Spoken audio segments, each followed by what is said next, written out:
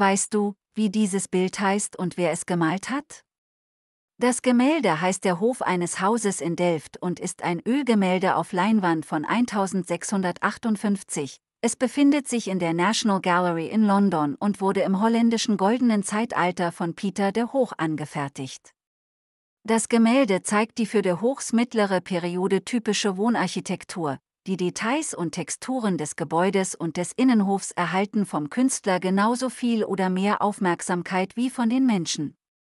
Im Gegensatz zu seinem Landsmann Johannes Vermeer, der intimer in seiner Beschreibung des bürgerlichen Lebens seiner Zeit war, konzentrierte der Hoch sein malerisches Werk auf ein Thema, das auf dem ruhigen Leben seiner Zeitgenossen auf Promenaden, Straßen und Innenhöfen beruhte, wo es mit einem kostbaren Detail ging, repräsentiert die architektonischen Merkmale, alltäglichen Elemente und sogar die Handlungen der Charaktere.